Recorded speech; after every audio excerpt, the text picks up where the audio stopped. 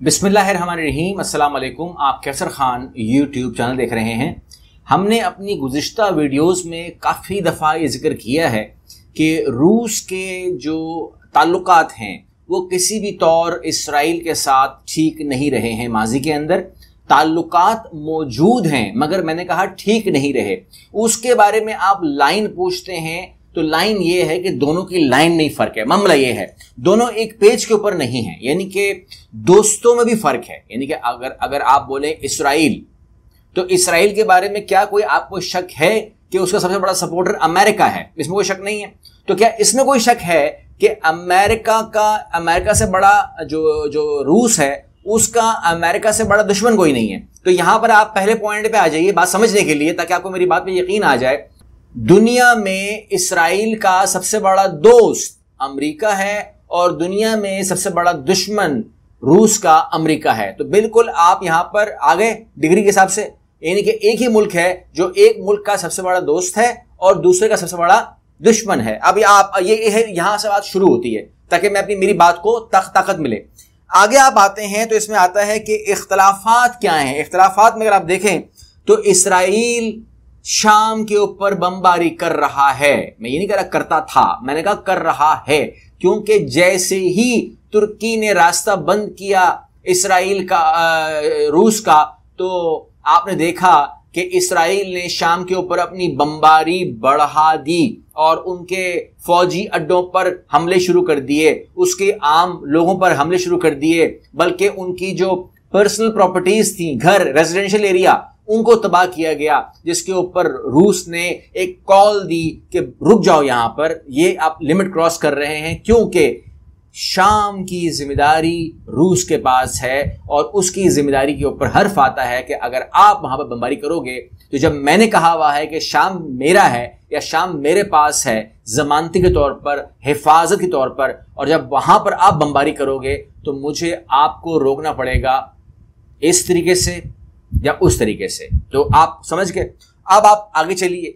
एक पॉइंट और रख देता हूँ और वो ये है कि रूस ईरान के मामले के ऊपर इसराइल से बिल्कुल अलग सोच रखता है। यानी कि इसराइल कहता है कि ईरान मेरा दुश्मन है और उसको असलहा मैंने नहीं छोड़ना उसके पास और उसके पास असलाह नहीं होना चाहिए और उसे मैं एक कमज़ोर ईरान के तौर पर देखना चाहता हूँ। कहीं वो एटम बम ना बना ले, कहीं वो मिज़ाइल ना बना ले, कहीं वो ऐसी कोई चीज़ ना बना ले जिससे तुर्क इसराइल जो है वो एक दिन के अंदर ख़त्म हो सकता है। तो ये उसका एक सोच है कि इसराइल इसराइल जो है, वो ईरान में इस किस्म की कुछ चीज़ें देखता है। अब उसके ऊपर एतराज़ात हो सकते हैं, इख्तलाफ हो सकता है, मगर ये इसराइल की सोच है।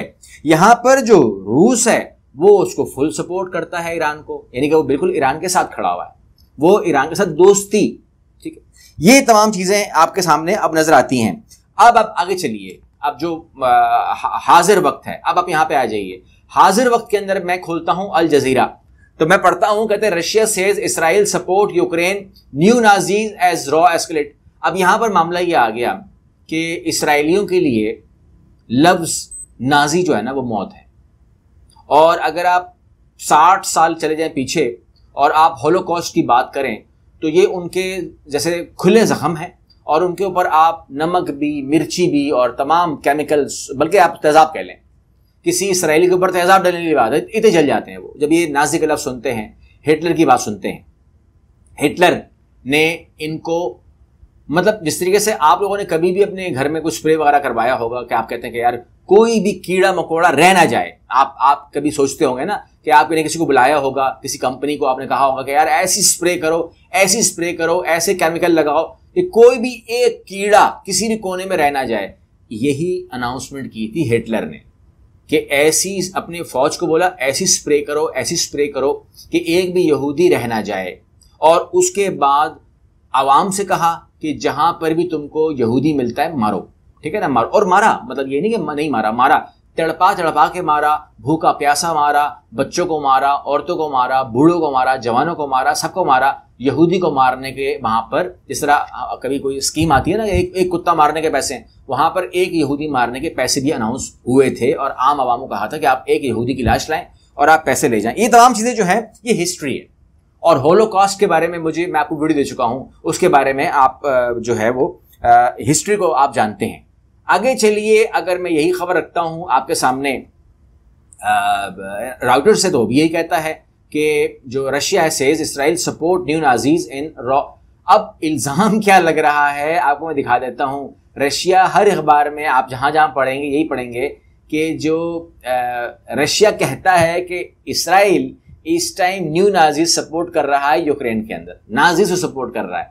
तो ये अल्फाज जो है ना, ये उनको बहुत ही ज़्यादा पेन दे रहे हैं। पेन कैसे दे रहे हैं? तो यहाँ पर आपको अगर मैं ये थोड़ी सी ट्रांसलेशन कर देता हूँ तो वो कहते हैं कि रूसी वजारत खारजा ने जेलेंस्की का मवाजना जर्मन नाजी आमिर अडोल्फ हिटलर से करने पर यूक्रेन और इसराइल आग बगोला हो गए। दोनों ममालिक ने रूसी वजारत खारजा के बयान की सख्त मजम्मत करते हुए माफ़ी का मुतालबा किया। यूक्रेन और इसराइल का कहना है कि ऐसा बयान हकीकत के बरअक्स गलत और हितक आमेज है। वाज रहे कि एक सवाल के जवाब में रूसी वजारत खारजा का कहना था कि जेलेंस्की, यहूदी है तो क्या हुआ? हिटलर की रगों में भी तो यहूदी खून दौड़ता है। यूक्रेन कहना है कि सरगई लारोव का यह बयान इसराइल, यूक्रेन और यहूदी लोगों के लिए दिल शिकनी का बायस है। महसूस होता है कि आज का रूस दूसरी कौमों से नफरत से भरा हुआ है। अब यहाँ पर मेरे पास कोई ऐसा कोई कंटेंट नहीं है, कोई जस्टिफिकेशन नहीं है, कोई मेरे पास मालूम नहीं है। मैं इसलिए इस टाइम इसके ऊपर बात नहीं कर सकता कि अडोल्फ हिटलर का यहूदियों से का ताल्लुक था। क्योंकि जहाँ तक मेरे पास हिस्ट्री है, जो मैंने पढ़ी है और आपके सामने रखी है, पुरानी वीडियोज़ अगर आप मेरी देखते हैं होलोकॉस्ट वगैरह तमाम चीज़ें तो ये जर्मन नहीं थे, ये आए थे जर्मनी, यहाँ तक तो ठीक है। और इनकी गुर्बत की कहानी, इनकी बचपन की कहानी, इनकी तकलीफ़ों की कहानी, फिर इनका जर्मनी आना, जर्मनी में आके फ़ौज में शामिल होना, फ़ौज में शामिल होकर इनका ग्रो अप होना तमाम चीज़ें। एक एक एक फैमिली के बारे में मैं डिटेल दे चुका हूँ, मैं इसलिए दोबारा बात नहीं करूँगा।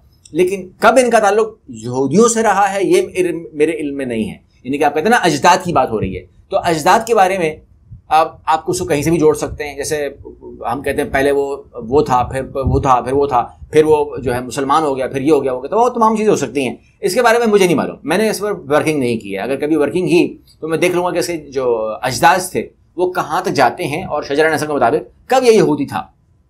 लेकिन बहरहाल जो यूक्रेन का सदर है ना जरेंसकी वो तो यहूदी है।